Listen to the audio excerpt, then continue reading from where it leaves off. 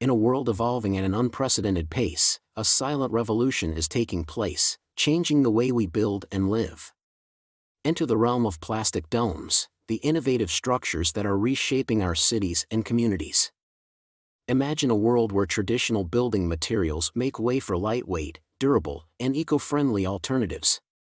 Plastic domes are at the forefront of this architectural revolution, offering a sustainable solution to our growing urban needs. These domes are not your average structures, they are engineered marvels made from cutting-edge materials. The manufacturing process combines precision and sustainability, creating components that are not only robust but also kind to the environment.